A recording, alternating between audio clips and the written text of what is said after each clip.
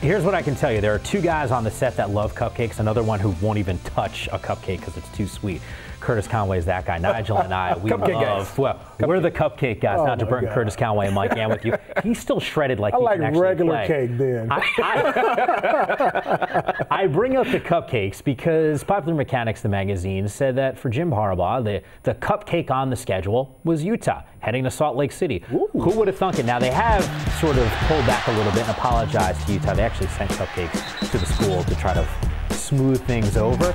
But yet, in my mind, this is still a Utah team that maybe has a Heisman candidate in Devontae Booker, but you know this as well as anyone. A lot of times we focus in on the quarterbacks, and Travis Wilson doesn't always get a ton of love. Maybe it's because of the turnovers, maybe because there's been some times when he's been banged up. We didn't know season ago if he'd be able to play. What are realistic expectations for him? Well, for me, they're big. When you, you when you have a running back like Devontae Booker in the backfield, you know defenses are going to circle him. We have to stop him.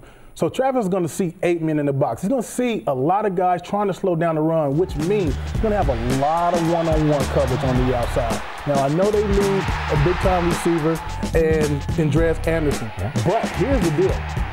If you're playing football at this level and you're playing wide receiver and you put the one-on-one coverage outside, you have to. There's no zones. There's no trying to figure things out. I think this offense is going to see that. Travis Wilson has to step up and have a big year this year because, again, in order for them to, to move forward and get better, he's going to have to throw the ball. He's have to do it well. Right, and and you know, flipping the other on the other side, talking about Michigan, it, everybody's made a lot of Vernon Adams transferring from Eastern Washington and fifth year senior, and you know, what are the ethics behind a, a guy being able to do something like that? Jim Harbaugh has Jake Rudock, who not only did the same exact thing, but he did it within the conference. So he was a starting quarterback at Iowa, making the transition to one of their arch rivals in Michigan in his last season, and seeing how they can infuse that offense and do some things uh, to try to bring back the tradition of Michigan against a team that took it to them pretty well last year. For what it's worth, Glenn Parker was our guest on Sports Report on Monday night, and he does his segment Pigskin with Parker. We had asked him about a big time performance from Booker, what that would do for his Heisman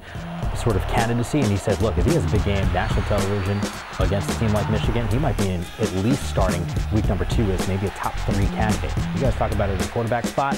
However, this is what I can say. Mm. Kyle Whittingham has really pushed Devontae Booker as a realistic Heisman candidate. He was a monster last year. We'll see what he's able to accomplish Thursday night against Michigan. But that'll wrap things up for Nigel and Curtis and myself. Don't forget for everything that's happening around the conference, all you have to do is follow us on Twitter at Pac 12 Networks.